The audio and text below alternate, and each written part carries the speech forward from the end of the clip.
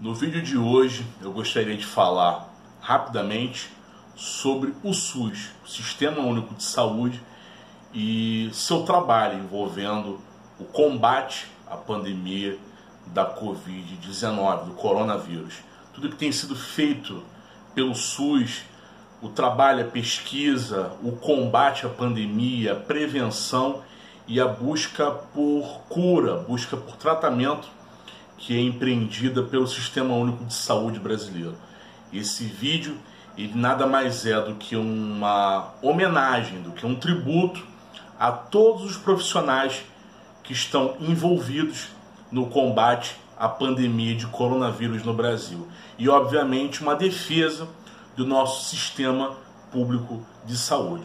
Eu sou Guilherme Galvão Lopes, professor de História, e toda semana estou aqui nesse canal, pelo menos tento, né?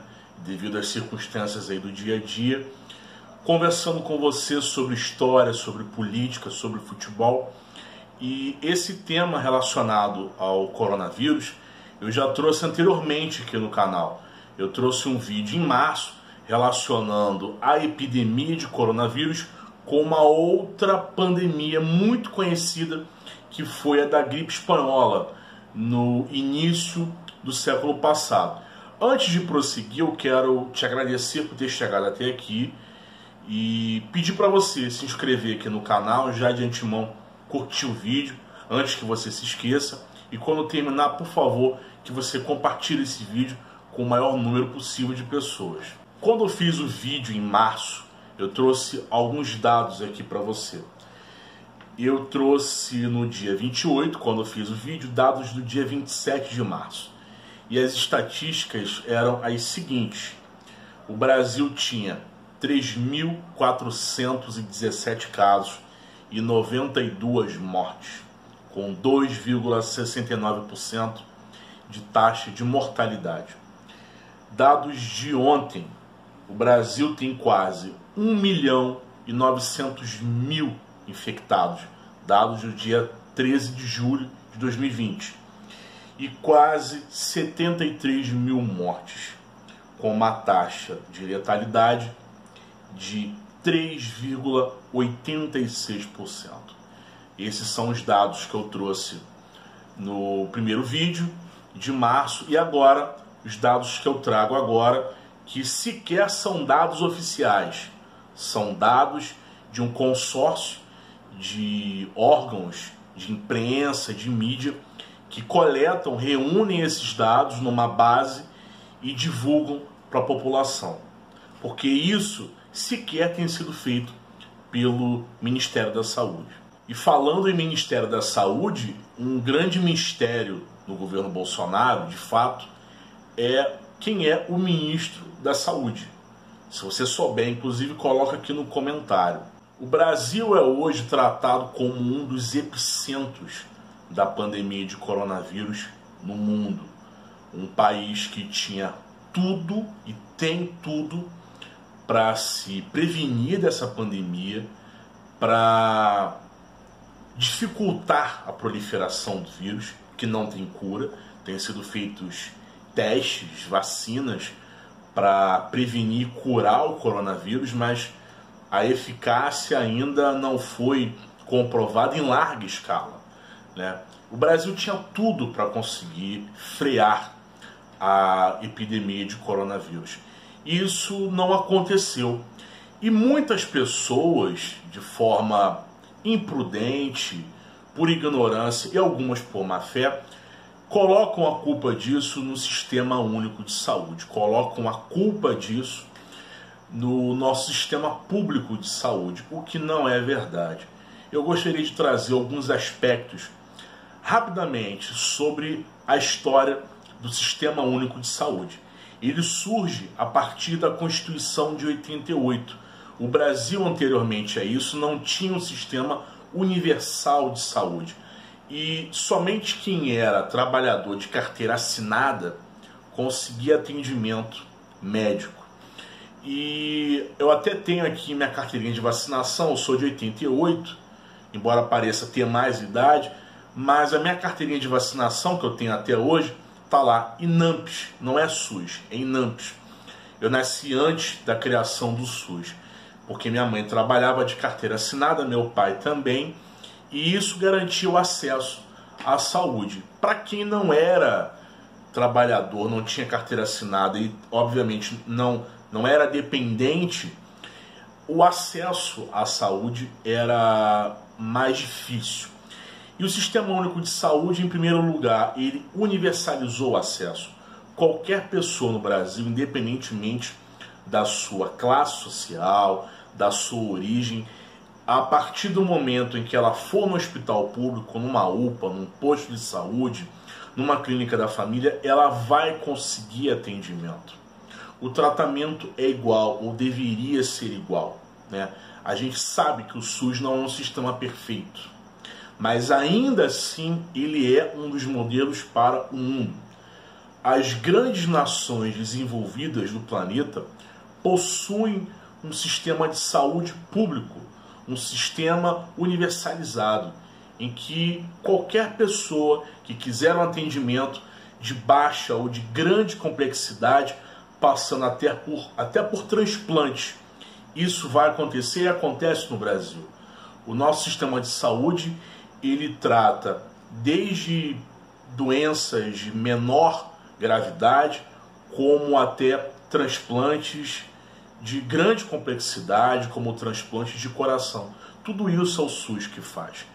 E isso foi uma luta de muitas décadas para que o Brasil, um país tão desigual socialmente, pudesse ter pelo menos em uma área, em um campo, um tratamento que fosse menos desigual para toda a sua população. E nós vemos, infelizmente, a atuação do governo de Jair Bolsonaro em relação ao coronavírus, a irresponsabilidade com que tem sido tratada a pandemia. E, claro, um presidente da República, ele, independentemente da sua qualidade, e eu questiono e muito a qualidade do governo Bolsonaro, tudo que um presidente fala tem repercussão. Ele influencia pessoas. Isso repercute, cria, forma opinião pública. E a forma inconsequente como a pandemia foi tratada pelo governo Bolsonaro acarretou a quebra do isolamento social, por exemplo a quebra da quarentena, um retorno forçado a uma normalidade que não existe. Não existe normalidade. As pessoas estão trancadas, as pessoas estão dentro de casa, as pessoas que podem e aquelas que têm bom senso, porque estamos forçando o retorno a essa normalidade em nome do dinheiro, em nome da economia. Isso tem total relação com a filosofia de um governo, a filosofia de uma política de governo. E o SUS, ele não é uma política de governo, ele é uma política de Estado. É uma política que perpassa muitos governos, de liberais a governo de esquerda e conservadores, mas o SUS tem se mantido. E se o SUS não funciona da maneira que nós gostaríamos, não é porque ele é ruim, é porque só dão o mínimo para que o SUS funcione. Só dão o mínimo, nada além disso. O SUS, em mais de 30 anos de funcionamento, ele nunca funcionou de forma plena, com abundância de recursos.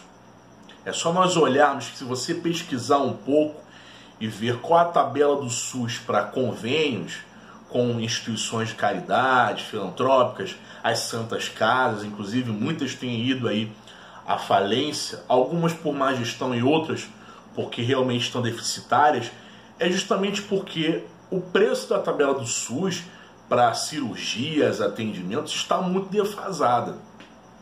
Essa é a grande questão, porque sempre para o SUS é direcionado o mínimo, infelizmente. E nós vemos isso sendo propagandeado por certos setores políticos e alguns setores da imprensa, justamente culpando o SUS pela, pelo avanço da pandemia. Quando, na verdade, nós só não tivemos um, um processo muito pior em relação a pandemia da Covid-19, justamente em função da atuação do Sistema Único de Saúde. Quando eu falo Sistema Único de Saúde, ela, isso tem relação com, com todos os entes da federação: União, Estados e municípios. É claro que a, a maior parte dos recursos é de ordem federal, mas há uma participação importante de estados e municípios quando nós falamos aí da gestão desses recursos, da aplicação desses recursos. Então, isso é o SUS. É todo o poder público envolvido na organização da saúde pública, na aplicação desses recursos, na gestão de pessoas, na valorização de profissionais, na infraestrutura, em aparelhos e principalmente em pesquisa. E isso até extrapola um pouco a atuação do SUS. Eu vou falar de um órgão que é muito importante no Brasil, um grande motivo de orgulho, que é a Fundação Oswaldo Cruz, a Fiocruz, que inclusive teve uma participação importantíssima na criação do SUS. Eu vou lembrar só da figura do Sérgio Arouca, que foi um dos cabeças aí da criação do Sistema Único de Saúde. A Fiocruz tem programas de pesquisa, pós-graduação, em diferentes níveis de graduação, e isso é financiado por agências públicas de fomento, como a CAPES e o CNPq. E hoje no Brasil, a, a bolsa que é destinada para um aluno de mestrado, por exemplo, gira em torno aí de R$ 1.200 a R$ 1.500. De um doutorando, está em torno de R$ 2.500. É isso que um profissional no Brasil que pesquisa a cura de doenças ganha é isso que um doutorando da Fiocruz recebe.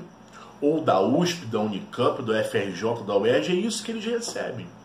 Pessoas que estão buscando a cura de doenças, o tratamento. Eu não falo só da Covid-19, porque é o nosso contexto atual, mas eu digo de outras áreas. Da cura do Parkinson, do Alzheimer, do câncer, da AIDS e de tantas outras doenças que acometem a nossa sociedade. É isso que nós pagamos. E esse valor está defasado há muitos anos. E não vem de agora do governo Bolsonaro. Vem de antes, inclusive, dos governos do PT. Hoje, na UERJ, um bolsista ganha em torno de 400 reais. Eu, alguns anos atrás, fui estagiário por um programa da UERJ e eu ganhava 300 reais. Eu estagiava numa instituição arquivística e era isso que eu ganhava por mês. Então é dessa forma que, infelizmente, o Brasil trata seus pesquisadores, seus acadêmicos, cientistas, seus profissionais de saúde. Então, nós temos aí a atuação do SUS que não funciona plenamente, mas uh, se não fosse o SUS, nós estaríamos numa situação muito pior tenha certeza disso. Houve uma projeção, inclusive eu coloquei no vídeo passado, de que na melhor das hipóteses o Brasil ele teria 44 mil mortos e poderia chegar à marca de 2 milhões de mortos no pior dos mundos. E isso não está muito distante não, tá? Não está distante. É só nós olharmos os Estados Unidos. O que, que está acontecendo lá? Lá é um país onde a educação, perdão, onde a saúde não é, a educação também, né? Mas a saúde não é pública, não é universalizada. Os planos de saúde cobram valores absurdos em relação a tratamentos, atendimentos, cirurgias, então nem se fala, né? E nós vemos aí com grande perplexidade o país que se, se denomina né, a maior potência econômica, a maior potência do mundo, a maior democracia do mundo, matando seus habitantes, matando seus filhos, seus cidadãos. E aqui no Brasil, apesar dos pesares, nós temos um sistema único de saúde que privilegia a vida, privilegia o cidadão, privilegia a pessoa humana. Né? Nós vimos aí uma briga muito grande do SUS, do poder público, com planos de saúde que, obviamente, querem um lucro, valorizam o lucro e não a vida humana em relação aí a vagas de UTIs, enfermarias, enfim. E muitos entes federativos, estados e municípios fizeram intervenções em algumas instituições, encamparam hospitais, encamparam é, aparelhos, enfim, para que a população mais carente pudesse utilizar. Inclusive essa disputa em relação à fila, né, de que envolveria não só hospitais públicos, mas também os, os hospitais privados. Né? Então quero chamar a tua atenção para isso, para a importância do SUS, para que você valorize o SUS, para que você saiba mais a respeito dele, estude um pouquinho mais. Vou colocar alguns links aqui, vou colocar alguns cards também no conteúdo aqui desse vídeo, para que você conheça um pouco mais sobre a atuação, que você lute pelo SUS. Ele não é perfeito, ele não é perfeito, mas é o melhor que nós temos, é o que nós temos. Senão o Brasil já teria passado talvez aí da casa das dezenas de milhares de mortos, talvez tivesse chegado a centenas de milhares ou até um milhão de pessoas. O SUS tem salvado vidas. Pesquisadores, a essa hora que eu estou falando com você, estão trancados em laboratórios ou estão até no campo, nos hospitais, se expondo justamente para buscar cura de doenças, para buscar antídotos de várias doenças, fabricando vacinas, enfim, uma infinidade de coisas relacionadas à saúde pública no Brasil. Valorize o SUS, é um apelo que eu te faço. E, se possível, continue no isolamento. Continue no isolamento social. Continue na quarentena. Se possível, se cuide evite aglomerações. Eu sei que é difícil, mas nós passamos por um momento muito complicado, que me preocupa. Eu faço esse vídeo com uma grande preocupação com você que chega até aqui, a você que segue o canal, porque isso não vai acabar tão cedo. Isso não vai passar. E nós tivemos até a volta do futebol, uma coisa ridícula. Futebol carioca voltou grandioso campeonato carioca com partidas interessantíssimas, para não dizer o contrário. E até o futebol a volta foi forçada, né, para tentar impor uma normalidade. Claro, o presidente da República acha que é tudo uma gripezinha e tudo se resolve com um remédio que não cura a doença, tanto que ele foi diagnosticado aí com Covid, já havia uma suspeita há muito tempo e foi vazado aí, foi divulgado que ele está tomando cloroquina, mas está fazendo exames de coração para ver se não não está sobrecarregando, né? Enfim, parece que nem ele acredita nas mentiras que ele propaga, né? Nas inverdades que ele propaga. Mas, por favor, não acredite no que o governo Bolsonaro fala. Siga as autoridades sérias, as autoridades médicas, autoridades sanitárias, cientistas sérios. É, veja a fonte das informações que tem chegado até você, tá? E é isso. Se cuida. Se cuida porque isso não vai acabar tão cedo e o Rio de Janeiro, não duvido que em breve vai voltar ao isolamento, vai voltar a fechar seu comércio, não só o Rio, mas outras cidades, porque não está normal. É um momento para nós refletirmos refletimos no que vale a pena. Se é melhor nós preservarmos os CPFs ou os CNPJs. CNPJ fecha, se abre outro. CPF não. Isso não é, não é possível. Como se convencionou a falar, né? O CPF cancelado ele não volta a existir. A empresa que vai à falência ela pode voltar. A empresa que fecha, ela pode voltar. A pessoa que morre, não. E a pessoa que morre, ela deixa amores, ela deixa lembranças, deixa saudades. E eu passei por isso recentemente. Perdi um tio muito próximo, irmão do meu pai, para a Covid-19, o que tem sido algo difícil, muito difícil. Então é isso, gente. Desculpem aí pelo tom do vídeo. Prometi ser um vídeo curto, mas eu acho que ele não está tão curto assim. Mas valorize o SUS. Valorize e se cuide, por favor. E eu quero, antes de terminar, agradecer ao professor Rico Guimarães. E eu te peço até para você, se possível, seguir o canal do professor Rico Guimarães. Agradecer a ele pela live que nós fizemos recentemente sobre minha pesquisa a respeito da bancada evangélica. E tem conteúdos de grande qualidade no canal dele. Então, te oriento aqui, te faço essa sugestão que você vá até o canal do professor Rico Guimarães, se inscreva no canal dele e ative o sininho, ative as notificações, enfim. E é isso, gente. Se cuida, por favor.